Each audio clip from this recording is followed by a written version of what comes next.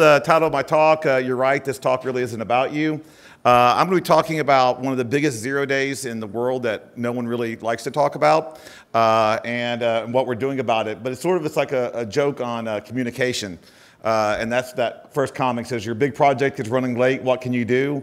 And the guy's like, People are already flat out conference calls morning and night, 60 emails a day, an hour, half hour time in meetings. I don't see what else we can do. what do you think is the real problem? He says, I think it's a lack of communication. Really? It's like, uh, so that's going to be the whole thing. That's like, um, that's going to be the whole theme through this is communication. Uh, this is uh, basically a little bit about me. I don't, uh, the thing you need to know is that I do a lot of break-in. It's like, uh, I've done one on National Geographic, it's like news, and, but I like robbing people. And that's one-on-one, -on -one, that's good for patching humans on a one-on-one -on -one basis. So for the last year, I decided to try to expand that and try to do more security awareness for enterprises. And that's one of the main things I'm focusing on. And you're going to see that a little bit about in this talk.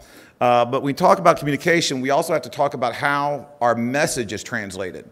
Uh, are, these are two famous quotes by John F. Kennedy, uh, an American president that everybody, and this first one on the left, everybody likes to talk about this one. Everybody loves to like talk about how intelligent that sounds and inspiring, and, and it's like it's just a great quote. When written in Chinese, the word crisis is composed of two characters. One represents danger, and the other represents opportunity. That sounds really nice. You know, you usually see that on a poster with a lake or a little bird flying over it and stuff, you know, with clouds. It's like, it's very inspirational, right? It's wrong. Completely, utterly wrong. It's like, that is not crisis in uh, Chinese is not danger and opportunity, the two words connect. It's like I gave uh, uh, this slide up. As soon as I put this slide up when I was giving this talk, uh, talk like this in Shenzhen, everybody started laughing immediately. It's like because they knew exactly that that was incorrect. Um, but we give him credit for that. He is still quoted to this day as saying a factual statement that that was a factual statement and that was correct. And it's like, and people still use it, and still people try to inspire people with that, with that quote. It's like, but he was wrong. And that is a wrong quote that we're perpetrating on that.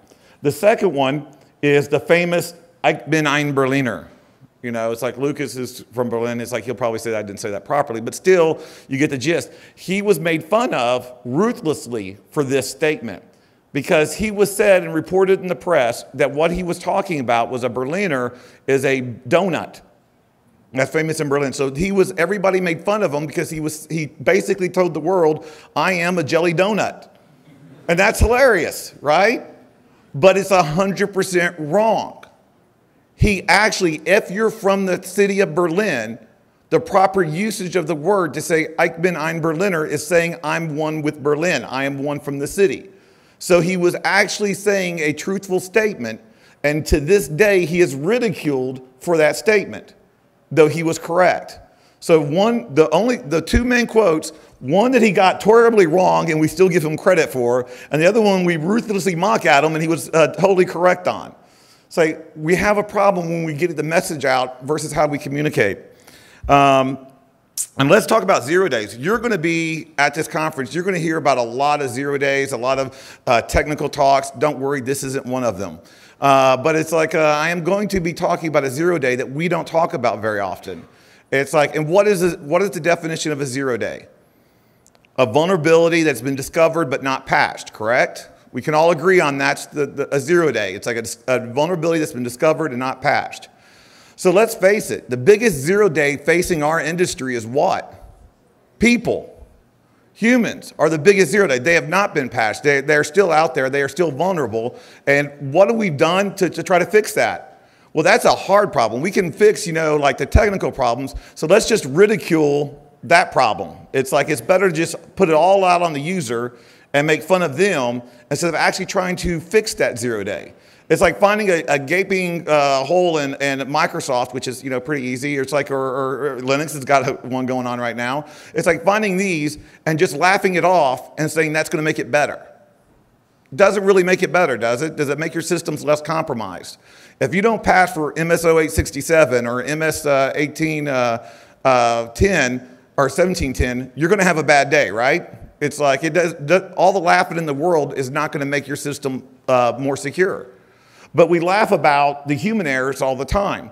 uh, with this joke saying, in this corner we have firewalls, encryption, antivirus, software, etc., and in this corner we have Dave, human error. I hate this cartoon. I hate it so much that I complained to my supervising adult, you know, the, my business manager, about how much I hated this cartoon. So, do you know what he did? He went and contacted the artist of this cartoon, and we actually paid him to fix it. This is the way the cartoon should be. If you don't think that's the proper way for this cartoon to be, then you're part of the problem. It's like this should be what you rely on. We keep trying to get technology to solve our human problems instead of getting humans to help with our technology problem. We've, I don't care how many Blinky boxes you, you buy, and I'm sorry for Blinky box vendors that are in the room, but it's like that's not going to solve your problems. Until we start addressing the root cause of a lot of our issues, which are people and how they deal with the issues, we're still going to keep getting compromised. It's like technology should augment the human. It should be an added layer of defense. It's not the solution. It never will be the solution. It's like, so we have to address that. And one of the things that people tell me the most about is like, yeah, but how do we get users to, to, to get involved in it? It's like, you know, that's not part of their job. It's like they don't want to do those kind of things that'll make them more secure, you know, study links, or it's like, or uh, not fall for spear phishing. It's like, or, or scan uh, devices before they plug them into their machines, or get, they don't want to do those things. And I'm like, are you serious? Do you know what people will do for money? People will do what's required of them to keep their job. This was a job. It's not really a job I'm particularly careful, uh, you know, uh, uh, excited about, you know, but it's like it was a job. It paid money. People will do what is required of them to stay employed. Our problem is we're not requiring them to be secure. We're adding it as an add on. We're adding it as like, oh, well, you also need to do this. And there's no repercussions when they do it wrong. No one gets anything bad if something uh, goes wrong. It's like we're not giving them any repercussions, no consequences. It's usually just a slap on the wrist.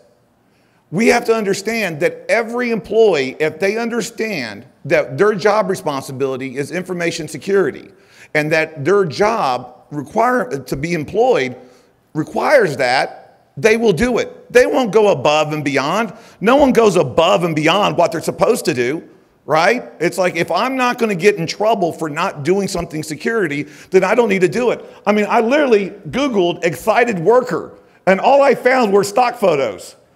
I couldn't even find a real excited worker. And I guarantee you, after every single one of these people took this picture of being an excited worker, as soon as that picture was over, like, oh God, I hate this job. You know? It's like, you couldn't even find a real stock. I mean, it's that's just the way it is. No one is going to do more above and beyond what is required of them if there's no negative repercussions from it. If they don't have anything negative happening to them for not doing a secure job, why bother? I have all these other deadlines. I have all these other tasks. It's like, I mean, do we really look at that? We, we tell coders it's like code securely. You know, security loves to talk about the coders, right? Oh my gosh, developers, it's like they, they don't even know how to code securely. They don't know how to, to take time to actually. When do they get a chance? Every, every developer usually gets a project and stuff. You know, it's like, here's the project. It's like it was due three weeks ago. And then we tell them, oh, but make sure it's securely coded. Make sure you go and you double check. Make sure there's no holes in it. Make sure there's no vulnerabilities, but we need that by five. And you get it at noon, right? It's like not reasonable. It's like, so they're not, if we don't say that this is a requirement and willing to give them the time to actually, and the, the uh, instructions to do that, they're not going to do it. One of the things I talk about is trying to educate the, uh, the user by giving them actual analogies that they can comprehend. And so one of the ones that I like to use is uh, a delivery driver. You have delivery drivers here, correct? It's like, and uh, you, uh, the companies will give them a vehicle. And it's like it can be an expensive vehicle, you know, like a really good van. It's like, do you as soon as the, that as soon as that starts, it's like as soon as you, the first day on the job of the delivery driver, you go and you tell them, hey, it's like by the way, uh, you got the job, so we know you know what you're doing. So here are the keys. Here's your delivery route. Have fun. We'll see you back at five. No, That's, a, that's an important piece of equipment. That costs like, you know, $50,000. It's like you tell them, it's like, uh, you need to make sure that you're using your seatbelt. You have to use turn signals. These are the speed limits. This is how you operate our vehicle. It's like you need to go through a test to make sure that you drive correctly and safely. Uh, there's a number on the back of the vehicle in, in case you drive recklessly. We can be, you can get reported. We put a GPS tracker in the unit to make sure you're not going over the speed limit. We take a lot of time to make sure that that delivery driver is not going to screw up. That's a, a very expensive piece of equipment, $50,000. First day of the job of someone that's working in computers, you tell them it's like uh, with a computer, all you do is you tell them like how to do the numbers, how to, how to make the widgets, how to market the widgets. But on the security of the vehicle, uh, on the computer, not so much. But when they fall for a spearfish and they cost your company $300 million, you go, oops, that was bad. A, an employee can lose millions of dollars from a computer or a delivery driver can lose $50,000 from a van by having an accident. Which one gets more repercussions if they make that mistake? A delivery driver. How many times can a delivery driver wreck a van and still be employed? It's like one, maybe two. But in a person that goes and keeps on clicking on spear phishing emails, or they keep uh, downloading viruses on their system, how long do they get to keep being employed? This is one of my main things that I talk about that's very unpopular. But I am telling you, if an employee is constantly being a security risk, if they keep clicking on a link in emails willy nilly, if they keep going and uh, downloading viruses, after the second, third, or fourth time, terminate them. They should be fired. They're jeopardizing the security of your company. Why are you still letting them be employed? You don't let a delivery driver keep wrecking your van. Why do you let a uh, worker keep jeopardizing your network? Because there's no consequences for online actions. It's like I, I did something really funny a while back. It's like, and I, and I talk about it. It's like we have a problem understanding the consequences online and, and putting it into the real world effect, right? I play. I just uh, who started playing Call of Duty, the new one, not the sucky old one. It's like the new Call of Duty with Activision. I'm the only guy playing Call of Duty here. Okay, you're lying. It's like, uh, but it's like you know, like first-person shooters. It's like you know, or uh, you know, PUBG. It's like you know, you get these games, and you. When I play Call of Duty, I love first-person shooters because I can just go in and just start shooting, right? It's like I don't do any of the teamwork stuff. You know, it's like I, I, play team deathmatch. They hate me because they're all trying to be like all sneaky and like, you know, like a military unit. And I'm like, YOLO, pew, pew, pew, America. You know, it's like I'm just running and gunning, shooting down the car. And it's like, pew, pew. It's like I die and I'm like, oh, well, I respawn. I start shooting again. Pew, pew, pew, America. But guess what happens? If you put electrodes on my body, that every time I got shot in the game, I got a shock would I be fire? Would I be playing that way? No. I'd be like, pew pew. America. It's like, it's like I don't want to get shot. There's online reper- there's repercussions in the real world for what happened online. I don't want that to happen. We need to start explaining to our employees that there are real world consequences for what they do on, uh, in, virtual, in the virtual world. It's like they need to understand that. Because they don't. They don't understand that. We have to make sure that they understand that those consequences exist. It's like you can actually uh, YouTube uh, adorable kids caught by dad after painting themselves, and it's a great show on how not to take responsibility for your actions. It's like you know, because when an employee gets caught opening up a link or downloading a file, is it ever their fault? Is it ever like, oh, I flagrantly disregarded security policy and I clicked on that link when I know I shouldn't have. That was totally my bad. No, it was security felt us this way. The technology wasn't in place to protect us from here. It's like, or uh, I wasn't properly educated on, on what the process was. But they're not taking responsibility for their actions. And is that really their fault about not taking responsibility? Which is funny because it's not their fault for taking responsibility for the stuff that they're responsible for. It's our fault for not explaining to them and letting them know that they have to be responsible for those actions. We have to put it back on them. We have to let them know and let them understand what security policies are and how they're supposed to be part of that. How many people know how to contact uh, information security if they see a suspicious email? or if they see a, uh, a person in the facility they're not supposed to be in? How many people, do you have an extension number for everybody to call? Do you have an email address for everybody to forward to it? If you don't, how is that their fault? If they don't, if you're not empowering and educating your employees on how to be part of the security team, you can't be upset when they're not part of your security team. You have to give them that. You have to arm them with those things and then give them that responsibility of it. It's like, but we like to just offset it on them and just make it that they're the scapegoats. But that's not the case. And I love this. This just happened a week or so ago. This was actually from uh, the White House. Kanye West, as everybody realized, Kanye West's passcode was 000000, which, you know, you make fun of it because it's six zeros. It's like, that's a lousy password. Well, I, you also have to remember back in the 1980s, the US nuclear launch code's default passcode was 0000000. It was nine, so it was a little bit more secure, right? It's like, it was like, the US nuclear passcodes were only three zeros more secure than Kanye's iPhone, okay? So let that sink in for a second when we talk about security and responsibilities.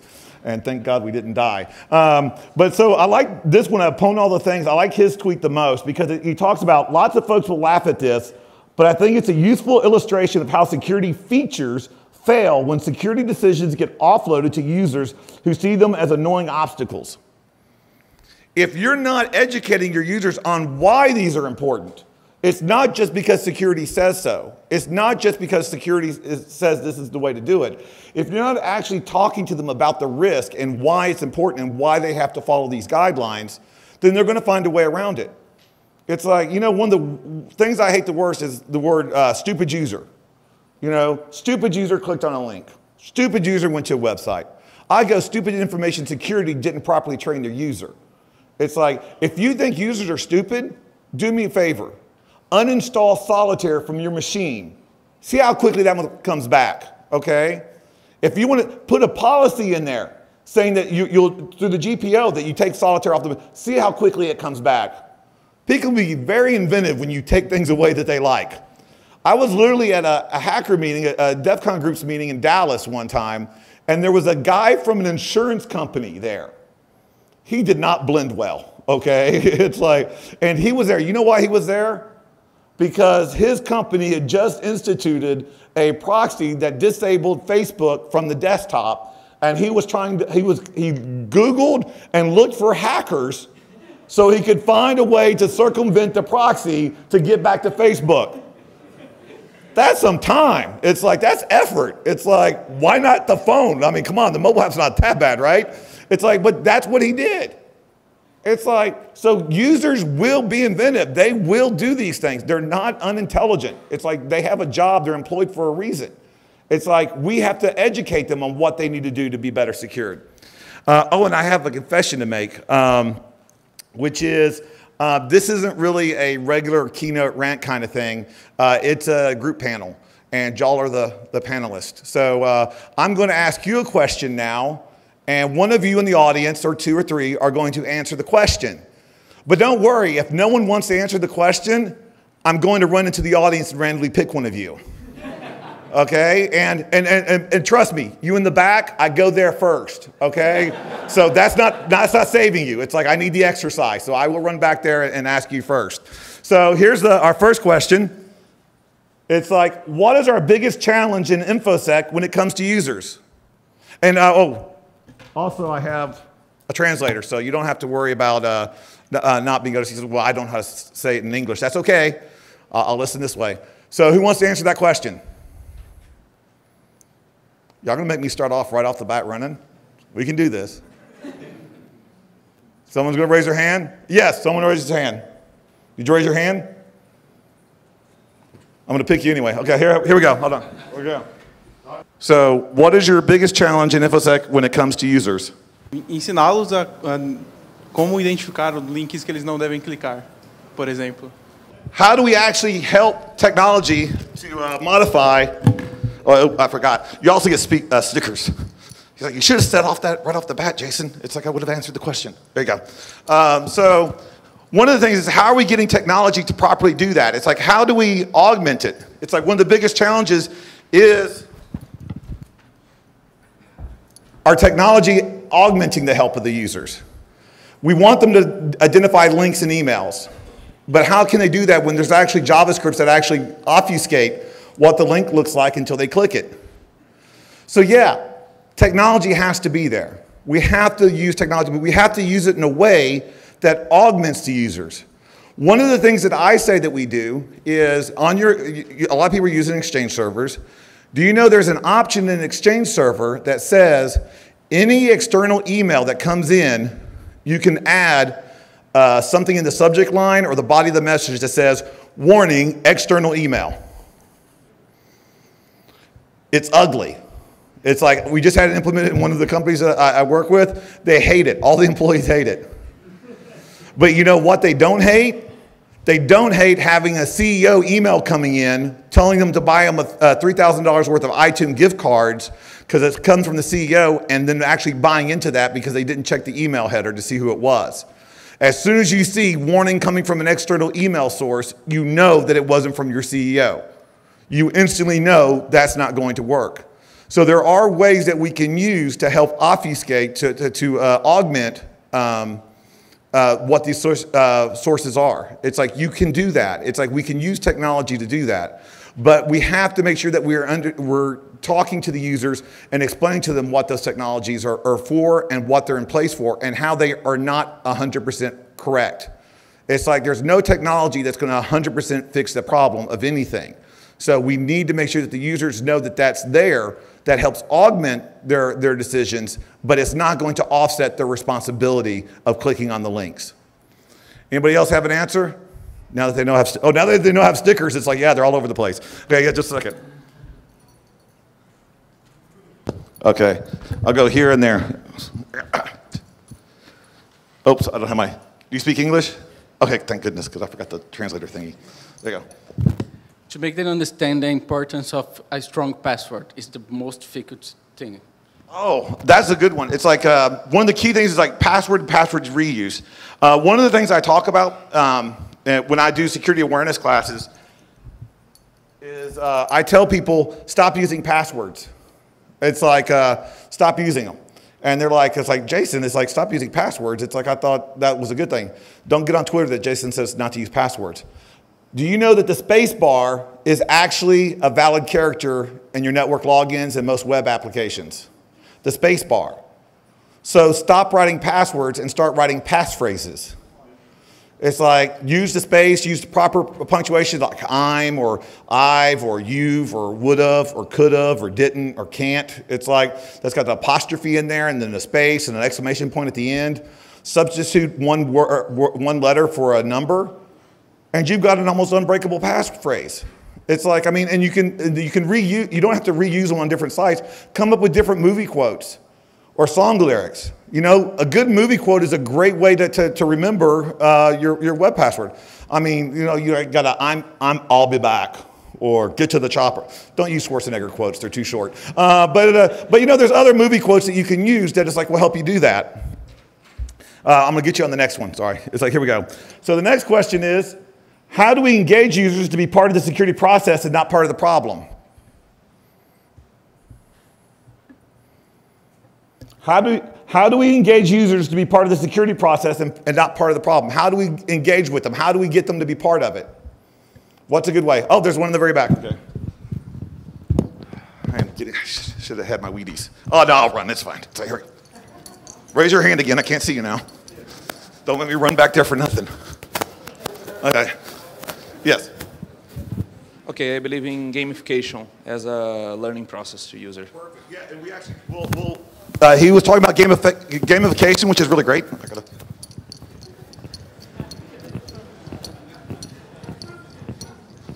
Can we have the answers up front next time? Thanks. Um, but yeah, we'll talk a little bit more about gamification in a little bit. That is a good point to do. One of our other problems is uh, ourselves. How many people here know how your company does business and makes money? I mean, the whole process from the beginning of the, are you sure I only have 10 minutes? Yeah, I was going to say, because I started way late. it's like, okay, I don't buy that. It's like, um, and I tell people the best example of not knowing what you're supposed to be doing uh, when you're supposed to be securing something is the TSA. So they're a great example of incompetence. And I shouldn't say that too much because I have to go back. But, uh, but literally, if you don't know how your company makes money, how can you protect it? Do you know what's important to them? I mean, and they may not realize what's important to them until it's gone or till it's uh, on ransomware or it got uh, uh, hacked or, or, the database got stolen. So you need to make sure you're going through your company and finding out what's critical to them.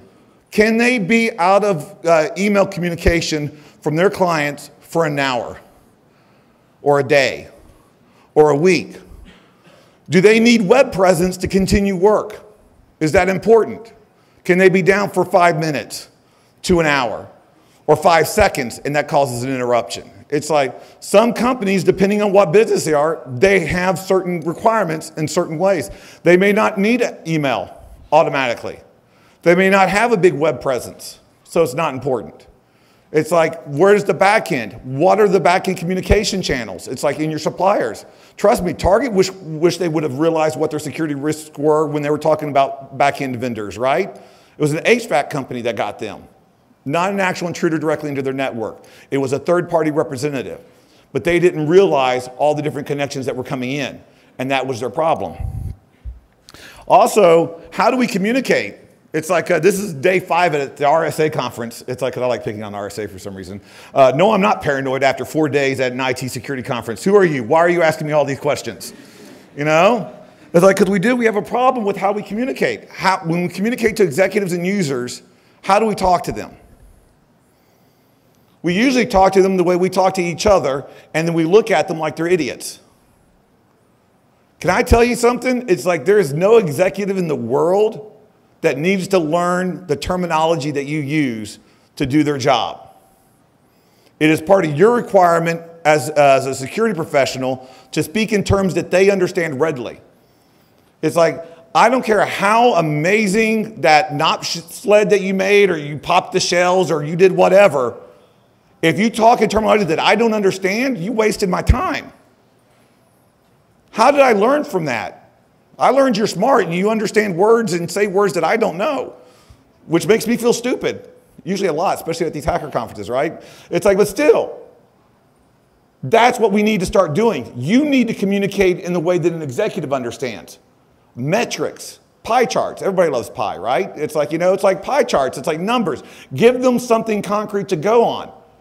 Explain it down. It's like not dumb it down. Explain it down so they understand what the threats are and how it relates to the risk of their company and the risk of the profits and how you're going to mitigate that risk.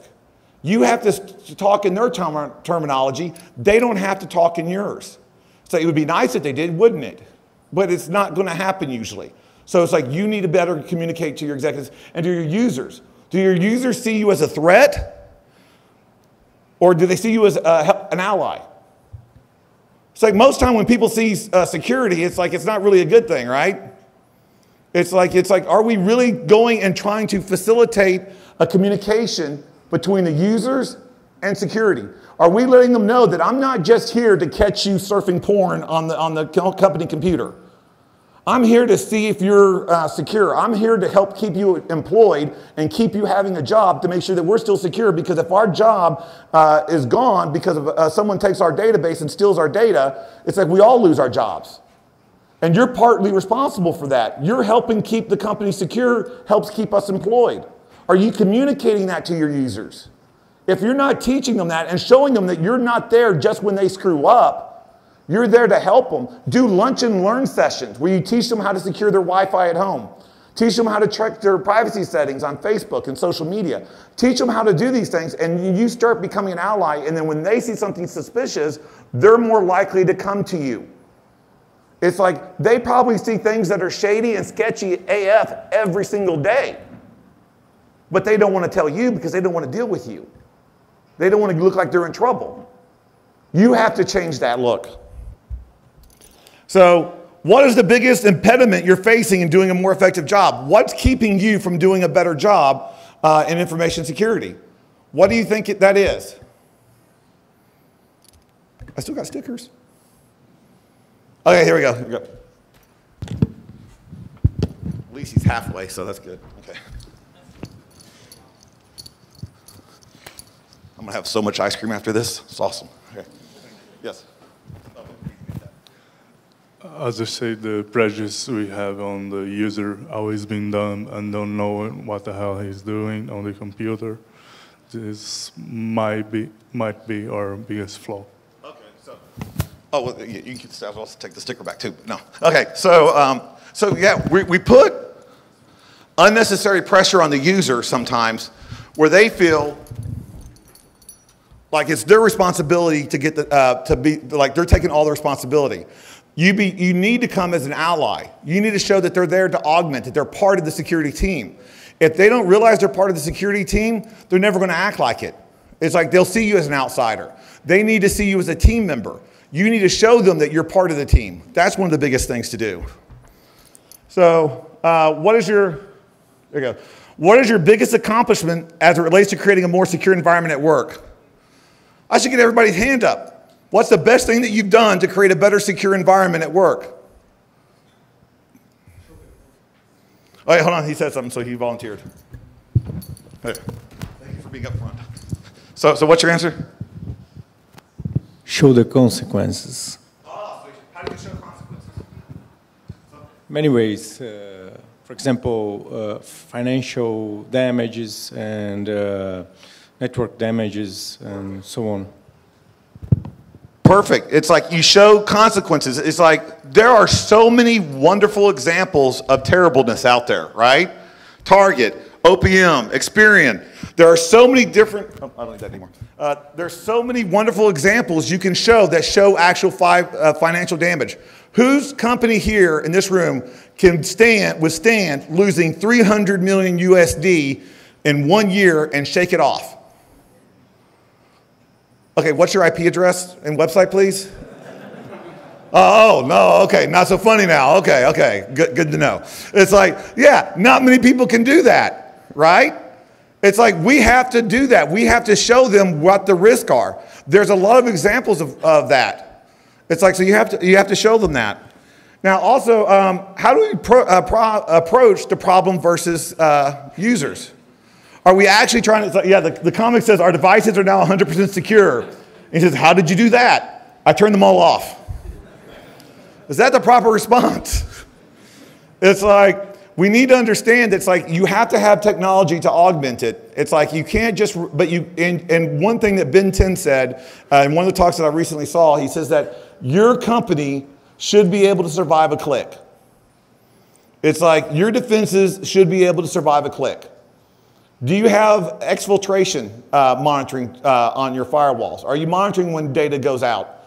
I mean, Sony, let's face it, Sony's a major corporation, right? All over the world. They didn't notice 1.3 terabytes leaving their network? Seriously.